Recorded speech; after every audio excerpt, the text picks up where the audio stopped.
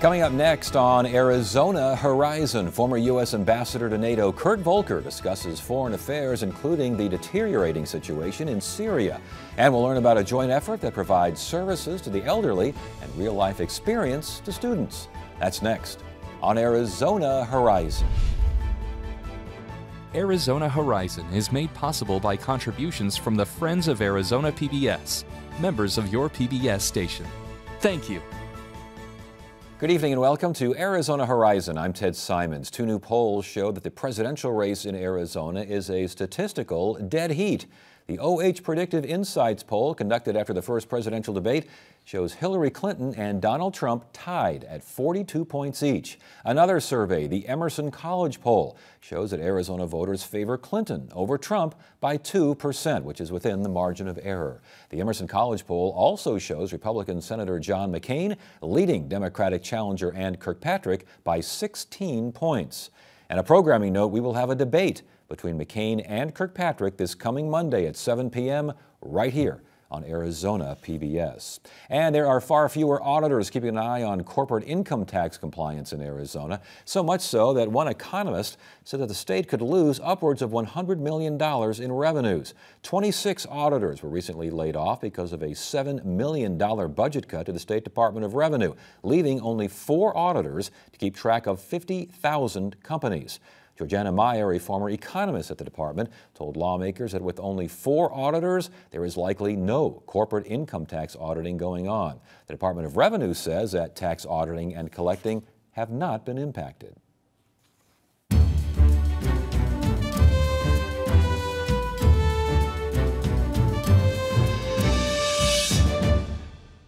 United Nations envoy to Syria warned today that the rebel-held city of Aleppo could face total destruction by the end of the year with thousands of lives lost.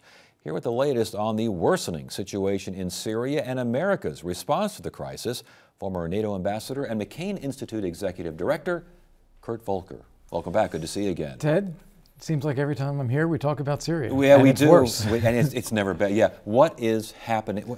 Syria in general, Aleppo in particular. Yeah, it is just absolutely stunning. You have the Assad regime in power. They're being assisted by Iran, Hezbollah, and Russia.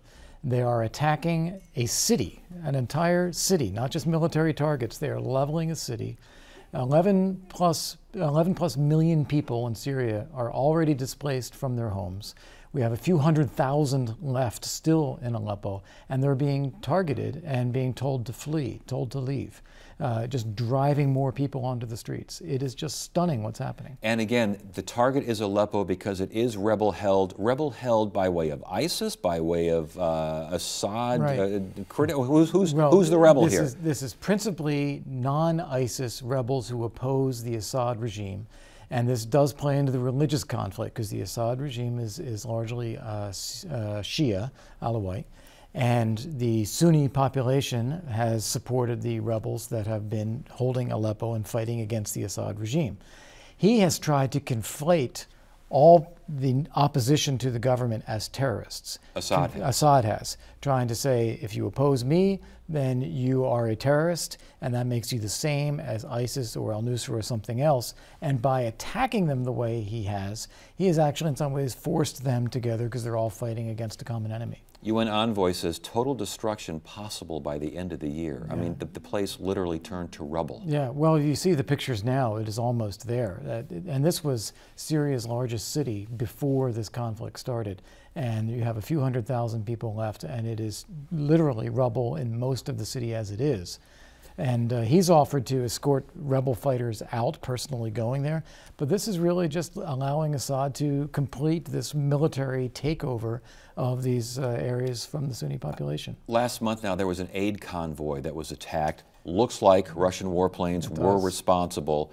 Um, what has been the response to this? Uh, it's, it's, shockingly quiet. Uh, you don't hear the outrage that Russia says, oh, it wasn't us and they pretend that there is some mystery as to what really happened.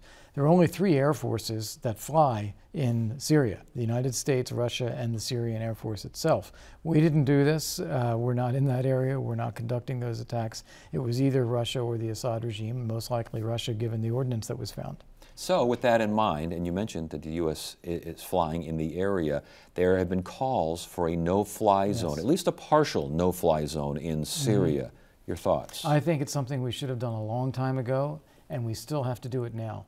And it's got to be coupled with a safe zone on the ground at the same time. Is people have to have a safe place to be.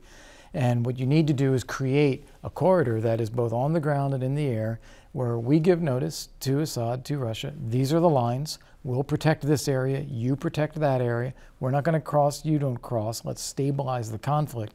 That can then give some relief to the population that is suffering dramatically and allows them to turn the fight back to ISIS again. Um, what's happening right now is we're not willing to take those military steps, and so Assad and Russia are going to keep pressing militarily against the population. So, what are we doing over there? Maybe a, a few strikes here and there, training? Yeah, a couple what, strikes a day against ISIS, and we're providing some training and equipment to some of the rebels who say that they will fight ISIS, but we're not supporting them in the fight against Assad, which is the life and death struggle that they're in. Um, you don't want to wish ill will on right. anyone or anything. But Russia, eventually, this, this is going to end unless Russia. Well, let's let's start here. Mm-hmm. Is this a quagmire? Is, is this possible no. quagmire for Russia? No. It, it, and this is where you have to think the way Putin and Russia think about these things. First off, uh, they're happy. They don't need an exit strategy. If things don't go well, they can leave the next day, and no one's going to blame them They'll say, okay, we tried, we left, that's it. No need for an exit strategy. They don't need a defined outcome, even. They don't have to achieve some particular goal. The conflict itself and the struggle itself enhances Russia's position in Syria politically and militarily, enhances Russia's relationship with Iran, enhances Russia's position in the Middle East. That serves their purpose as it is. They don't need more than that. Yes, but if, if, if the United States were doing this, reducing a city to rubble, oh, the tens protests. of that, well, the yeah. protests, not only here, mm-hmm. but around the world, we would be the target of goodness knows how many terrorist attacks from now until eternity. Why is that? Where is the, the Muslim world outcry against Russia? Yeah, it's a great question. You know how the outcry would be if it were the United States, and we frankly don't see it right now.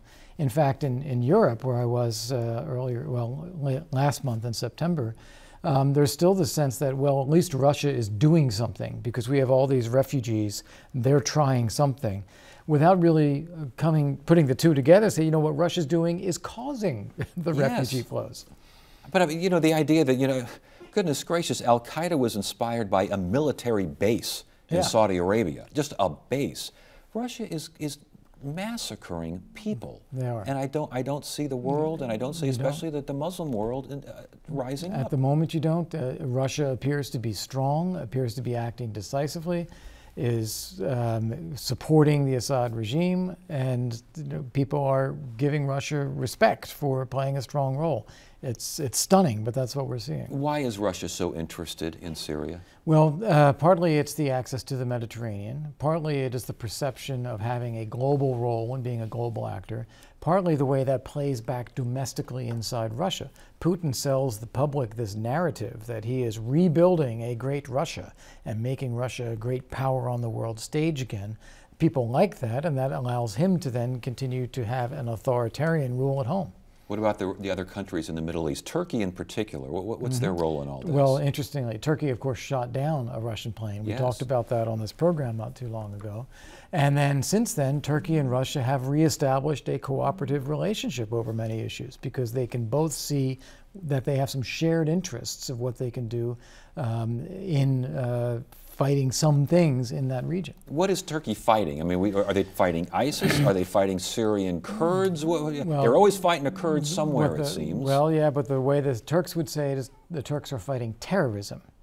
And these Kurds in Syria do conduct attacks, or through the PKK, which is based inside Turkey, conduct attacks against Turkey. So they label them as terrorists and don't distinguish between them and ISIS, just as Russia doesn't distinguish between some of these rebel groups in Syria and ISIS. So there is some shared interest there. But of course, a very big difference is that Turkey believes the Assad regime has to go and Russia is, is propping it up. Is that eventually going to come to loggerheads? I mean, it, Uh, well, I think uh, this, what will happen here eventually is you're going to have to see some stabilization of dividing lines inside Syria. Syria will never be governed again by one group only. And you're going to have to have some, some lines of ceasefire, some dividing lines in the country. Things can stabilize around that then you can hope that humanitarian relief gets in and you create some order again. As far as you just came back from Europe, you've mm -hmm. spent some time over there. What, what do you, the refugee crisis over there, any signs of that easing at all? No, no, it's not. Uh, there, there was a period earlier this year, the, the first few months of this year, when they had a deal between Europe and Turkey where Europe was paying Turkey and Turks were supposed to keep the refugees there or keep them from coming into Turkey to begin with. Then you had this military coup in Turkey. The government in Turkey cracked down massively against the coup plotters, arresting tens of thousands of people. Europe has then protested, oh, you're, you're cracking down on society here. And Turkey said, well, we don't have to stop the refugee flow if you don't want us to. so it is going back up again. Plus, you have all the migrants coming up from Africa through Libya that has not tapered off at all. I was, is there an answer for this migrant flow into Europe? Because it sounds like, I mean, I'm hearing that Hungary, you know, is having mm -hmm. some problems with their with their government simply because of this one issue. I every mean, every country in Europe is having an issue over this. This is why we see the rise of the Allianz für Deutschland, the, yes, the rightist party yes. there, the Sweden Democrats in Sweden, the National Front in France, Five Star Movement in Italy.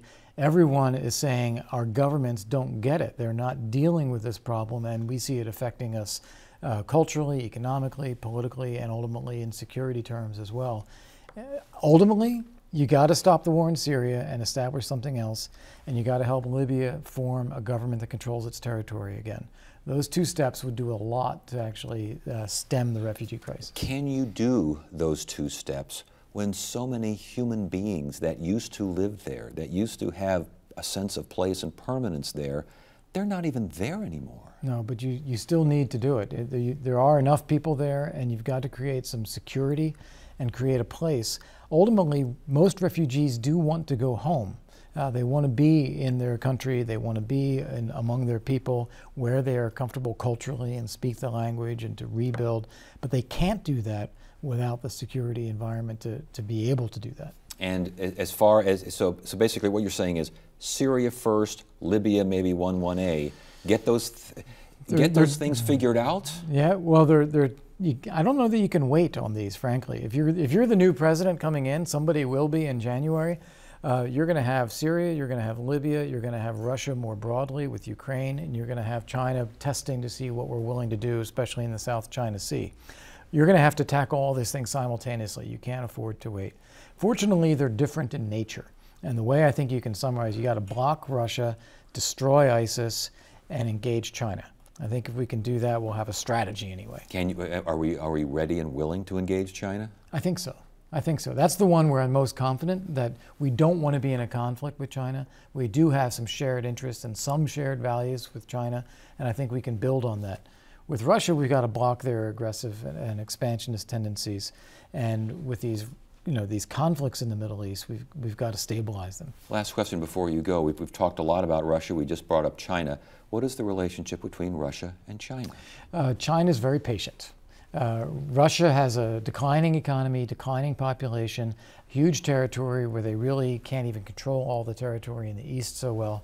And China has a huge population, dynamic economy, much more cohesive society, and a, and a government that looks after the people in society to some degree in terms of lifting people out of poverty and education and health. So China's patient. Russia would love to sell energy to China, but it needs Chinese investment to do it, and China doesn't want to pay uh, an excessive price. It figures it can absorb things anyway. Interesting. So China's playing it out. Yeah, so they're, they're not not at heads. You know, they're not at each other's throats. Yeah. Russia actually has more of an interest in getting money from China yeah. than China does anything from Russia. China's being patient. Oh, what a world! What a world! Good to have you it's here. Great Thanks to for be joining here. us. Thanks for having me.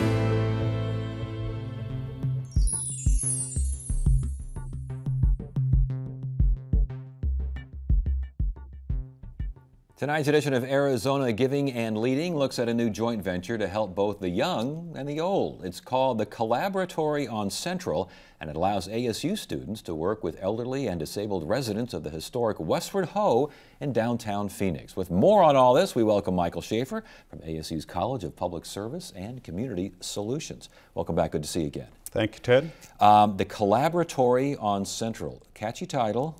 What are we talking about? We're talking about ASU uh, leasing out 15,000 square feet on the ground floor of the Westward Ho property and in that space creating a innovative enterprise that brings together our students, our researchers um, to engage in collaborative research with the tenants and with the communities of Phoenix and greater Arizona. Now the Westward Ho, most folks know it, but you know, some folks may have just moved here, haven't been downtown in a while.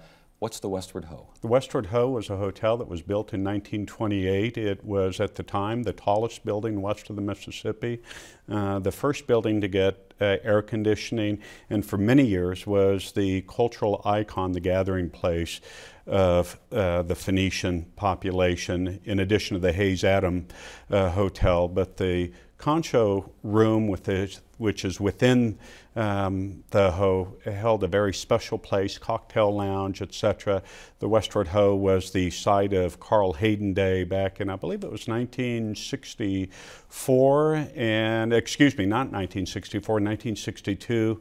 Uh, President Kennedy, President Johnson, the entire uh, national leadership and state leadership Yes. came out to recognize uh, Carl Hayden at the Westward Ho. And a lot of movie stars stayed there as well, but it, you know, it, it's showing its age now. It's, it's not quite the icon that it once was, although you can't miss it when you're on Central. Yeah. It's still, um, right now, how many residents are in the Westward Ho? There are 300 people who call the Westward Ho their home. The property is actually owned by a development company based in Rhode Island that specializes in low income housing. They've owned the property since uh, 1979 and converted it from a hotel into low income housing. Uh, the Cathedral Development Group, they've been, I think, a very good steward uh, of the property, but the nature of the financing that's available um, called Section 8 housing provides very, very little service to the people who call that place home. And the, the uh, most qualifying characteristic of the people who live there is that they're poor. They're on the lower end of the economic spectrum. They range in age from 23 a, actually, a, a, a individual is a former student of ASU who happens to have a disability and is uh, low income to probably 83 uh, or 84, and we see just the, the vast spectrum uh, within that.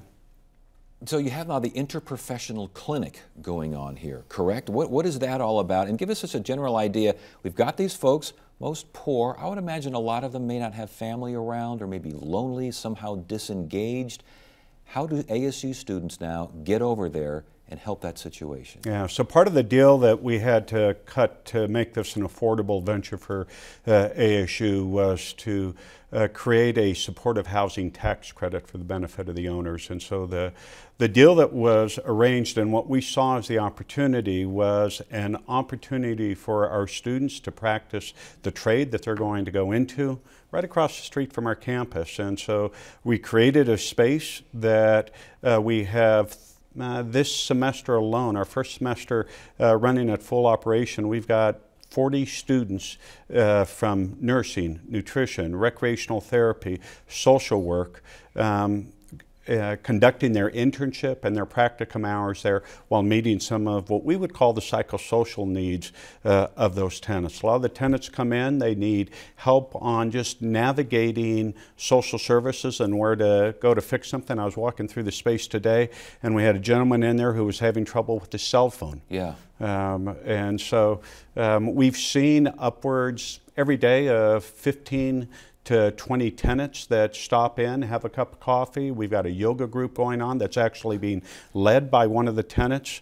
Um, and it's just a wonderful experience for our students um, to become connected and develop relationships with a marginalized uh, aspect of our society. Yeah, this, this really does sound like good stuff here because not only do you have folks that, again, are in need, they're just maybe in need of human contact. I mean, just That's right. having someone just show attention and, and show that they care, that's a big deal. But for these students, maybe they're not familiar with folks that might be older, different generations, a couple of generations removed, maybe you know have had harder times. It's a, it's a great experience all around, I would imagine. Indeed, indeed. And I think ASU's, we saw as our primary objective here TED was to create a unique learning opportunity for our students. And our expectation is as a result of these experiences, these students will develop a lifetime passion for serving the underserved uh, and the less fortunate. Fortunate. And I think it's uh, very much in the spirit of our Spirit of Service initiative within the college. As far as what these, these folks that live at the, at the Westward what they need the most, what do you think it is? Uh, what they will tell you they need is social connection yeah. and community. Yeah. We had a graduate student that worked with me about uh, four years ago, and we did an assessment. We did surveys with 50 of the tenants. We were surprised to see that the vast majority of these people have actually pretty decent access to health care. Now, what they don't have access to is community, is to family, uh, is something productive and meaningful to do during uh, their day. The vast majority of these people um, are disconnected from any kind of economic enterprise in terms of employment um, and that type of thing. And as a result, what I see outside my office window, which is right next to the main entrance on Fillmore, is the Phoenix Police Department and the Phoenix Fire Department showing up there about every other day and they show up oftentimes very, very not criminal activity, but just nuisance kind of issues because there is no support system yeah. for many of these individuals to fulfill. So with this in mind, uh, it's uh, obviously, it, uh, it, just sounds like a great idea and it's up and operational. How did it get started? What was the idea behind this? Well, you know, when I, um, when I joined uh, Arizona State University and was fortunate enough to come to the downtown campus. I drove by that building and I saw the tenants sitting outside that building and I said, those are my people. Yeah. Those are the kind yeah. of people that our students in social work and our students in rec therapy need to have an experience to, and it is consistent with what we've done in the downtown area. You walk across the urban park, to the Y, the partnership that we've created with the Y. This is just another extension of the mission of ASU at the downtown so again, we got nursing, we've got nutrition, we've got social work, we've got this uh, the psychosocial uh, situation going on. What else? Well, our plans are to um, bring in other disciplines. So we've got uh, conversations going on with colleagues over in uh, Tempe in uh, the Hugh Downs School of Communications, where we have faculty there with an expertise in health literacy. Um, we're going to begin to bring those. Um, disciplines in. Um, with the law school right here, I was going to say one of law the, school. Yes, and so we're moving toward creating a law clinic so we can have some law students opening up and having some clinic. Our hope is that uh, beginning in the next academic year, we open up this collaboratory clinic to more than just the tenants that a lot of the street people that wander up and down Central and in this area mm-hmm. uh, provide a rich opportunity for our students to practice their craft. Starting to see more of a response, a little more engagement for some of those folks? Yeah, we're keeping a tick up on uh, the number of new faces we see uh, coming into the clinic, and it's growing over time. You know, we did a uh, ice cream social back in July, and we probably had a 150 of the tenants show up, and it was just a wonderful opportunity to build community. Well, this is great. This is great work. It's very encouraging. It's wonderful to hear. Congratulations on your Thank success you. and continued success. Thank you. Thanks Ted. for joining us. Friday on Arizona Horizon, it's the Journalists Roundtable. Another Inspector General's report finds problems with the Phoenix VA hospital, and Arizona's Department of Child Safety rejects key provisions of a state audit. That's on the next Journalists Roundtable. That is it for now. I'm Ted Simons. Thank you so much for joining us. You have a great evening.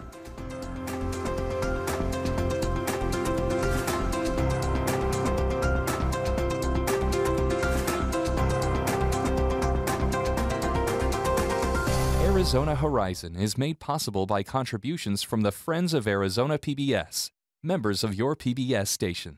Thank you.